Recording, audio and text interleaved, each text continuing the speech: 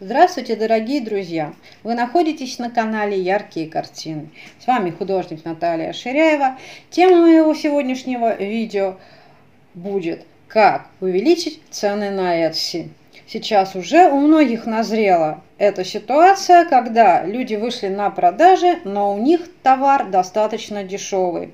Продается хорошо, есть обороты, есть понимание рынка, но никак не получается увеличить общий доход и увеличить цены на каждый товар, на каждую картину. Сейчас я вам расскажу поэтапно, как это сделать, а, как это было у меня, как я постепенно перешла от своих Э, небольших цен к ценам более высоким в 2-3 раза, примерно больше.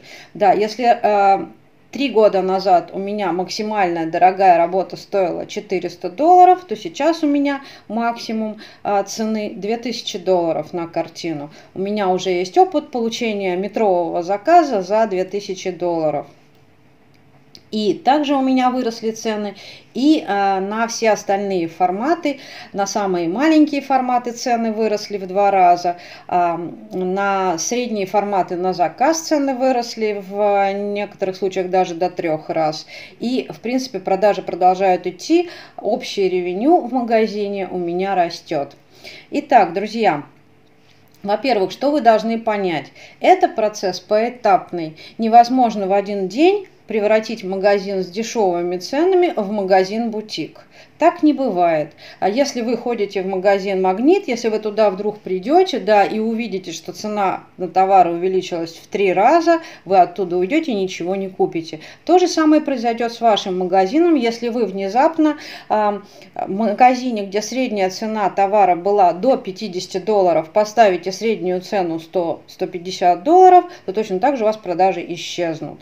Тут дело даже не только в том, что ваши постоянные покупатели обалдеют, обалдеет и алгоритм Etsy. Поэтому а, мы идем постепенно, и я вам сейчас расскажу по пунктам, как это можно сделать, как это получилось у меня.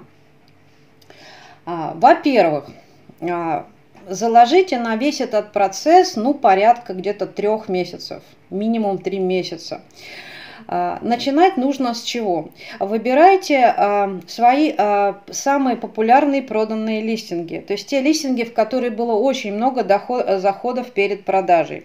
Желательно, чтобы уже эти картины были доставлены и чтобы за них были оставлены хорошие отзывы пятизвездочные. Это важный момент. Берем эти листинги, эти товары, да, то есть это совет не только для художников, это совет для любых продавцов на Etsy. Если у вас вас есть а, популярные, были популярные товары, которые были проданы, уже отправлены, доставлены и получили хорошие отзывы, вот эти листинги – это ваша самая ценная база в вашем магазине, которая у вас есть. Распорядитесь с нею с умом.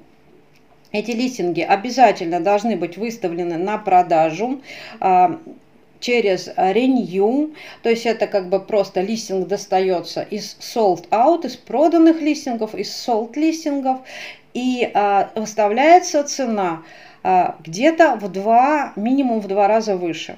То есть если у вас картина была продана за 50 долларов, вы достаете этот листинг и ставите на эту картину цену а, 100 долларов. Вот. Увеличивать ли при этом размеры да, э, самого изделия картин? Да, можно увеличить, но не в 10 раз.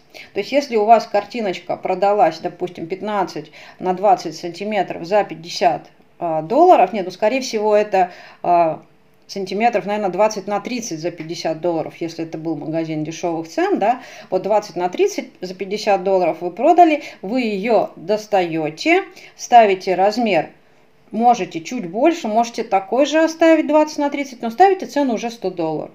Вот, это первый шаг, который нужно сделать. А с какой скоростью это нужно делать?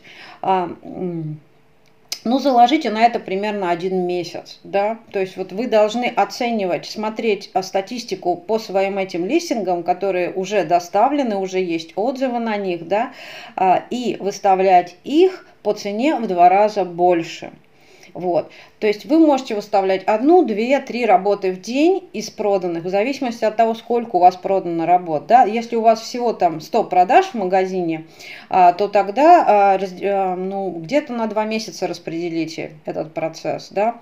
Если у вас в магазине там всего там 20 продаж, то понятно, у вас как бы в принципе, для вас еще вообще рано, наверное, этим заниматься. То есть я бы рекомендовала этим заняться тем, у кого действительно ну, много продаж. То есть есть ходовые а, ходовой э, товар, да, вы знаете, что это, но вы не знаете, как поднять цену. Начинайте с а, листингов, выставленных на заказ по цене в два раза выше. Вот.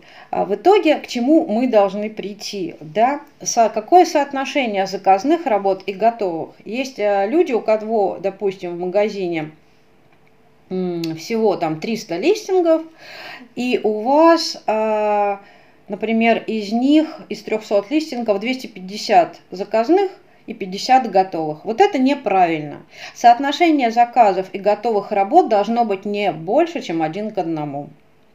Вот. Даже если у вас будет один к двум, это уже будет а, сложнее сделать а, выход на более дорогие цены. Если у вас будет один к пяти, если у вас, допустим, а, 250 готовых работ и а, 20, ой, если у вас 250 заказных и, и 50 готовых, и 20 готовых, то а, вам будет сложнее увеличивать цены. То есть лучше, если у вас есть готовые работы, какое-то количество на заказ, не все еще выставлены. И именно анализ, важен анализ, а какие листинги выставлять на заказ. Не надо выставлять на заказ бесперспективные листинги и пытаться на них ставить цену там в 10 раз дороже. Нет, нужно выставлять те листинги, которые хорошо просматривались до того, как они были проданы, а, на них была оставлен, был оставлен положительный пятизвездочный отзыв, вот это ваша база, с которой вы работаете. Остальное все вообще можете временно прикрыть. То есть, допустим, в магазине 70 готовых работ, и в итоге у нас получается 70 заказных работ в два раза больше по цене. Вот.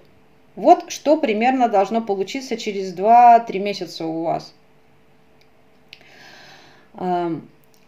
То есть держать балласт листингов на заказ, тех, которые плохо просматриваются, не имеют положительных отзывов, это бессмысленный процесс. То есть, да, у вас периодически могут их заказывать, но если вы хотите вырастить магазин до магазина высоких цен, до уровня бутика, то тогда без э, сожалений отказывайтесь от слабых, непросматриваемых листингов на заказ. Этот балласт не нужен. Сейчас алгоритм на Etsy работает так, что не стоит а, разращивать магазин до большого-большого-большого количества непросматриваемых листингов на заказ. Вот это вот э, имейте в виду, ребята, у кого уже много продаж а, и у кого магазин сильно разрощен за счет а, заказных работ.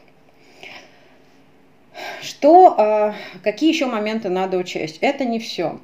А, когда а, вы продаете небольшие работы, к вам периодически обращаются с просьбой а, перерисовать эту же картину в более крупном размере. Вот у меня, например, был случай, когда меня попросили картину 10 на 10 сантиметров перерисовать в метровую. Я в ужасе шарахнулась от этого заказа, а вот этого делать не надо.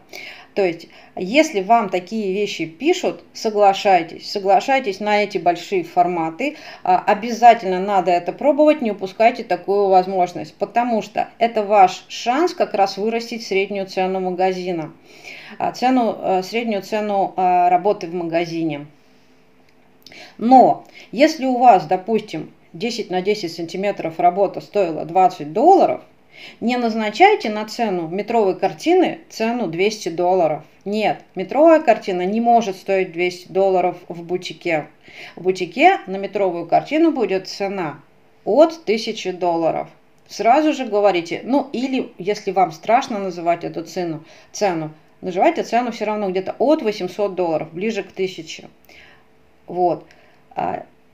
Если человек у вас это попросил, это не зна... Э, вот, перерисовать маленькую, большую, это не значит, что он как бы пересчитал, да, как-то и думает, если у вас 20 долларов, то значит это будет 200 или 250. Нет, это совершенно ничего не значит. Это значит, что человеку нужна большая картина, большая картина должна стоить дорого. Вот.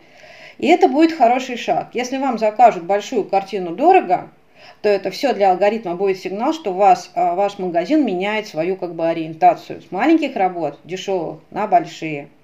А, сейчас именно похожая ситуация произошла. А, когда я получила заказ за 2000 долларов, да, как я его получила, я просто назвала очень большую цену за очень большой формат, да, 31 на 46 дюймов, это почти 80 на 120, вот такая работа. Я назвала первоначальную цену 2600 долларов. Я ее назвала, потому что, в принципе, я не хотела браться за большую работу. Это мне не нравится, мне физически это тяжело, и мне это как художнику тоже сложно.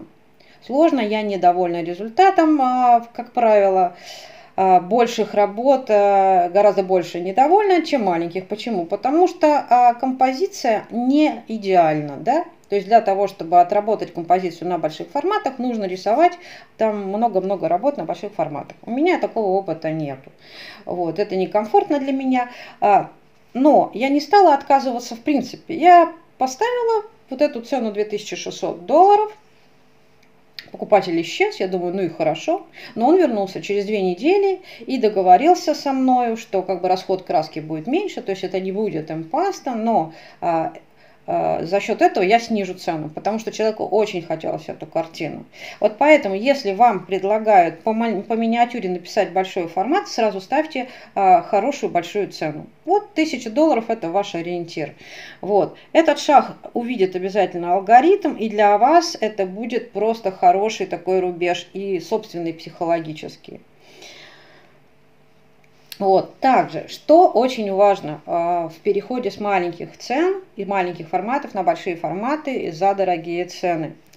Не ставьте в заказных работах выбор размера э, больше там двух вариантов, а лучше вообще, в принципе, ставьте один вариант только. И если вы хотите переходить на дорогие цены, пишите в, заказ, в заказных работах сразу большие форматы, Например, там 80 на 100 сантиметров, да, 80 на 120. Ну, в зависимости, какие у вас пропорции, чтобы в среднем получалось, э, ну, меньшая сторона чуть меньше метра, большая чуть больше метра, да. То есть вот так вот ваш ориентир, чтобы было где-то ваша картина, где-то один квадратный метр. Вот. И на эти работы ставьте заказные цены, э, ну, вот в районе 1000 долларов. Можете чуть меньше, если вам так психологически легче, или больше, если вам, в принципе, не сложно психологически ставить такие цены, там 1200 долларов, 1500 долларов. Вот. А, э, сколько должно быть соотношение больших вот этих вот да, заказных работ и, допустим, небольших? А, не начинайте сразу с, э, с перехода на все большие заказы. Да? То есть вот а, пусть будет это поэтапность. Там, в первую неделю ставьте, там, чтобы у вас 10% было работ, большого формата. А, там, следующую неделю еще по чуть-чуть добавляйте. И где-то через три месяца, чтобы у вас, допустим, среди заказных работ а, было 50% а, больших форматов. Больших форматов вот где-то в районе метра. В принципе, можете ставить размеры и не метровые, потому что не каждому хочется да, рисовать метровые. Можете ставить размеры, ну, где-то от 60 на 80 лучше даже а, такой хороший размер 60 на 90, которые понимают, да, американцы, там, например, люди за границей 60 на 90. То есть это где-то 24 на 36 дюймов. Вот. И дальше, что нам делать с готовыми работами? Когда мы пишем готовые работы, какие цены нам ставить, если у нас какие-то уже пошли дорогие заказы? А, на готовые работы продолжайте ставить а, недорогие цены. Вот это важный момент. И этот момент, его нужно соблюдать на протяжении достаточно долгого количества времени. То есть если вы сразу станете ставить на готовые работы небольшие, то есть продолжайте писать небольшие работы готовые и ставить на них недорогие цены. Потому что если вы допустим, резко увеличите форматы, вы, во-первых, реже будете обновлять магазин, реже загружать новые листинги, а во-вторых, алгоритм, то есть вот этот сбой, он воспримет это как сбой. То есть его нужно продолжать кормить маленькими дешевыми картинками, готовыми, но выращивать вот эту вот перспективу свою и а, приучать алгоритм через дорогие заказы. Так получается легче, проще и быстрее. Если вы внезапно а, с маленьких форматов, там, не знаю, 15 на 20, 20 на 30 перейдете и будете загружать готовые 40 на 50, допустим, сантиметров картину, и вы, во-первых, это будете там делать, ну, не чаще, чем раз в два дня, да, потому что, ну, невозможно каждый день писать картину 40 на 50. То есть вот это уже будет сбой алгоритма. И второе, что если вы будете готовы добавлять вот эти обновления магазинов сразу с дорогими ценами, все, алгоритм произойдет сбой, сбой и все, и в принципе у вас все остановится даже если у вас хорошо были налажены продажи. Поэтому очень важен вот этот период, а, пока у вас а, по заказам пойдет движуха и появятся первые дорогие продажи именно из заказных работ, вот этот период а, продолжать писать маленькое и дешевое и выставлять это по тем ценам, которые у вас были. Ну, там не у всех они были очень дешевые, у кого-то они были не очень маленькие, но именно по тем ценам, по которым вы развили магазин. Если вы развивали магазин один год, да, до этого, и у вас уже есть регулярные продажи, там, допустим, 100 проданных работ, ну или там 50, 70 проданных работ, вот эти размеры и эти цены, и, конечно же, эти же темы продолжайте писать регулярно, желательно каждый день. Вот.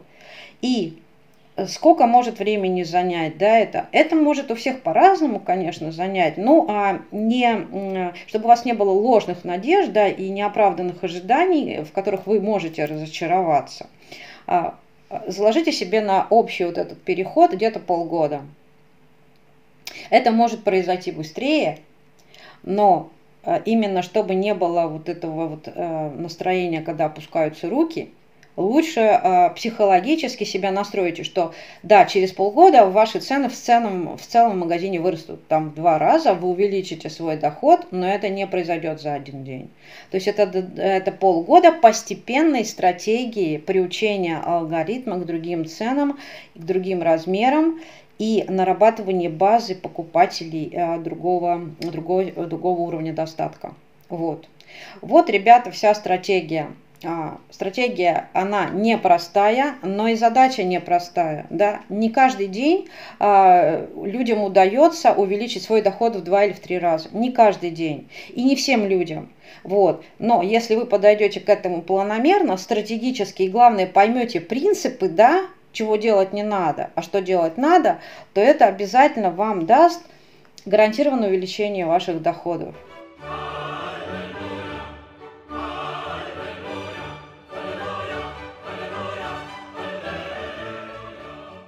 Приходите к нам в клуб продающих художников, где мы помогаем развивать магазины на Etsy, на Daily Paintworks и на eBay. Вот, жду всех, а кто хочет научиться продавать свои картины за границу. А, приходите те, кто занимается не картинами, приходите те, кто занимается рукоделием, потому что все то же самое можно проделывать в любой нише. А, в любой нише, где вы а, что-то создаете своими руками. Вы можете эти принципы применить, и они будут работать. Все, я с вами прощаюсь. Всем успешных продаж, а, классного творчества и удовлетворения своим доходом. Пока.